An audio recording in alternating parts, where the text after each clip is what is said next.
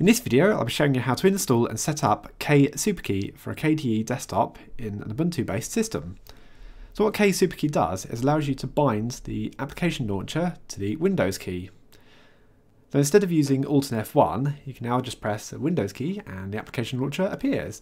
And it also works with other application launchers such as Homerun. So it's ideal if you've come from the Windows world and you're just used for a single key shortcut or in fact, if you use Unity as well, it's the same thing in there. Okay, well, there's a couple of ways of installing KSuperKey. You can take the simple option of adding the repository and installing it through the Software Center, or you can download the source code and compile it. I'm going to take the easy option. So to do this, take a copy of that repository there, and I'll leave a note in the description below. We'll open up console and type in sudo add apt repository. And you can press the tab key to autocomplete paste in the repository using the middle click on the mouse button, pop in your password, press enter, then sudo apt get update. This only works up until Kubuntu 13.10, but hopefully the repository will be updated fairly soon when Kubuntu 14.04 will be released in April. And finally, sudo apt get install KSuperKey.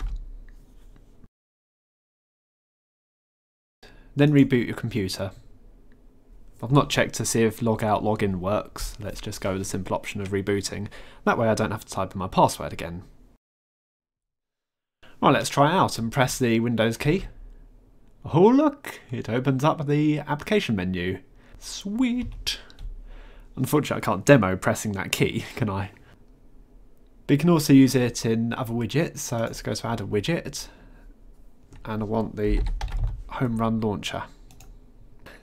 Then if you right click on it, go into the Homerun Launcher settings, go to keyboard shortcut, and then you just press the Windows key, but it's going to come up as Alt and F1.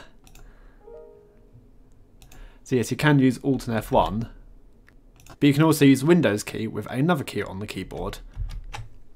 So that works perfectly fine. So thanks for watching, I'll see you later.